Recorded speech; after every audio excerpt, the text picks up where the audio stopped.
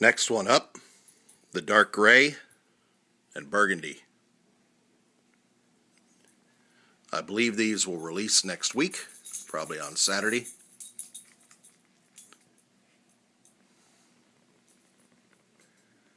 Following up from the olive, these dark gray are very nice. I can definitely see finding some dark burgundy red strings, putting in here. I'm sure I've got some out in my boxes of laces and strings that I keep buying. And I'm confident they would add a good look to this. Although the black waxed laces are very nice as well.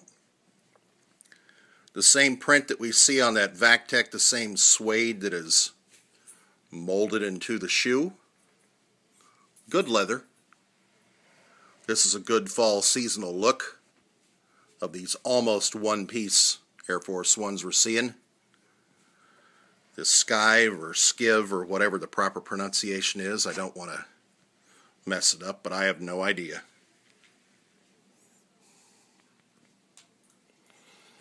So if anybody knows, correct me if I'm wrong, please. Until then, I'll call them skives.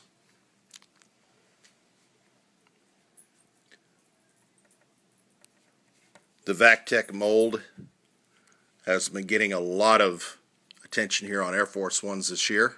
Rightfully so. It's a good way to go.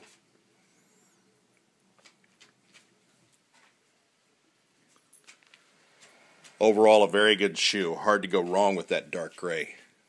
And when you throw that burgundy in there, a colorway they've done on Air Force Ones more than once.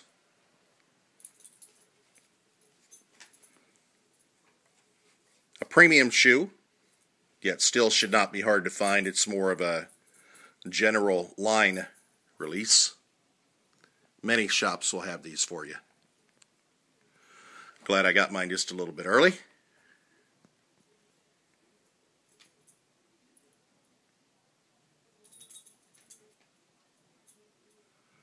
good looking shoes.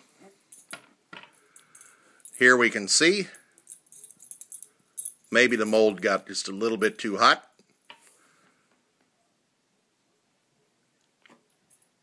Trying not to go too hard on Nike, but the quality continues to fail.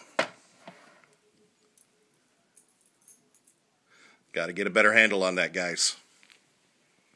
Paying lots of money for these shoes these days. Lots of time to chase them down.